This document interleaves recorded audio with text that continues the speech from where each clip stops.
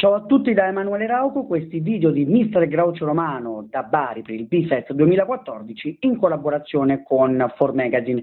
Seconda giornata del festival, ieri è stato il giorno di Paolo Sorrentino che ha fatto un incontro con, con il pubblico barese e eh, diciamo, il primo incontro pubblico dopo, dopo l'Oscar La grande bellezza.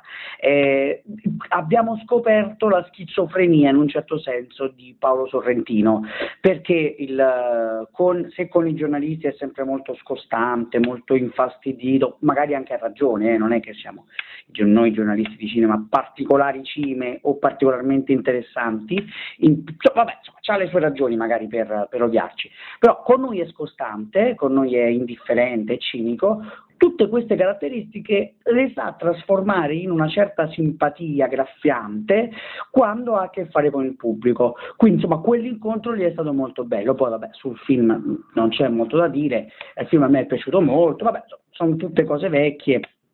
Il film è stato riproiettato oggi al pubblico barese è piaciuto parecchio e questo insomma ci mette un po' anche eh, in difficoltà perché un film che pensiamo che alla critica possa piacere al pubblico no, poi accade il contrario, vabbè ma questi sono discorsi eh, particolari. Tra l'altro il, l'incontro con Sorrentino dopo, insomma, con la stampa ha messo in mostra alcune lacune eh, del festival dal punto di vista organizzativo. È come se neanche loro fossero in grado di gestire l'interesse del festival e de, insomma, dei giornalisti al festival, però queste magari sono cose di cui non ve ne frega una, un'emerita. La cosa interessante di ieri è che ogni sera cioè, ci sono tanti film, eh, opere prime e seconde, film italiani già editi, varie sezioni, la più come posso dire, la, una delle più interessanti è le anteprime internazionali. Eh, se c'era stato uh, Noah ieri, e vi invito a rivedere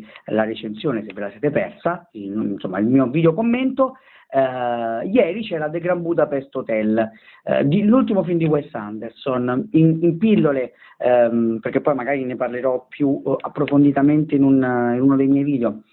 The Grand Budapest Hotel è un film è la radicalizzazione dello stile di Wes Anderson, per cui se amate, vi piace Wes Anderson, il film potrebbe piacervi in modo radicale e chiaramente viceversa. Tutto il suo lavoro sul, sul colore, sulla geometria, eh, sulla, sulla, simmetria eh, esasperata dell'immagine, arriva a mescolarsi con invece la storia il più colorata, il più tenera, il più pastellosa possibile.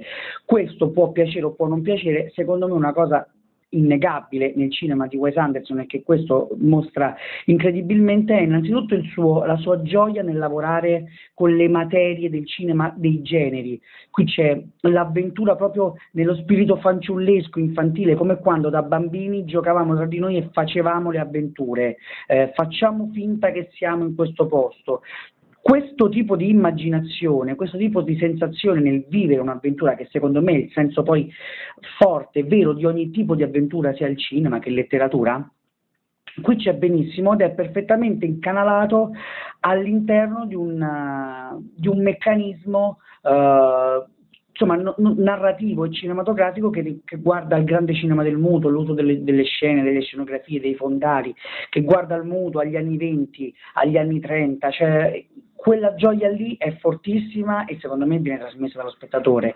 L'invenzione, il fatto di saper fondere benissimo i contrasti tra questo stile ascoltato tanto geometrico da poter essere glaciale, invece la storia che è il più uh, dolce e la più calda possibile. E poi, una cosa innegabile, un ritmo interno del film incredibile. Il che non significa che è un film frenetico, un film dove succedono 600.000 cose, ma il ritmo, la progressione del film, il fatto che ogni scena ehm, sia importante e fondamentale, se te la perdi, non, non, non, è che hai perso qualcosa della storia e non sai come andare avanti. Ti, ogni scena è, è, fondamentale ed è importante perché c'è qualcosa dentro, uh, un'invenzione, un'idea, uh, un, una, una, trovata, un, un gioco.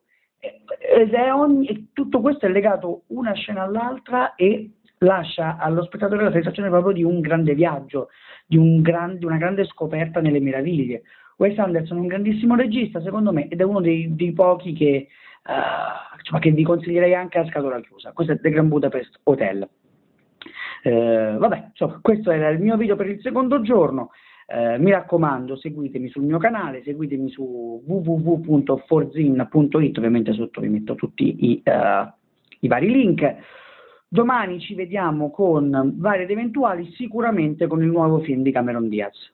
Hai capito?